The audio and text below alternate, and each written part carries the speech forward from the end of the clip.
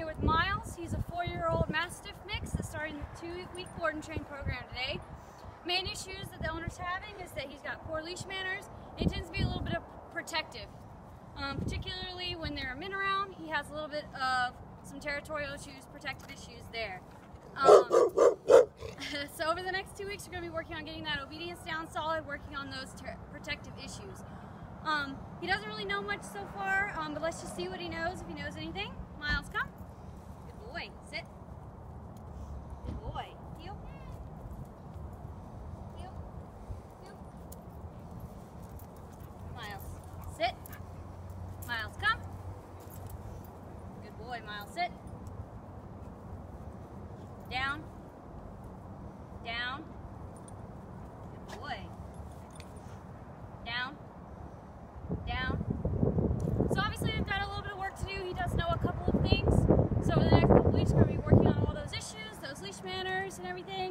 hitting him solid, on leash and off leash through heavy distraction.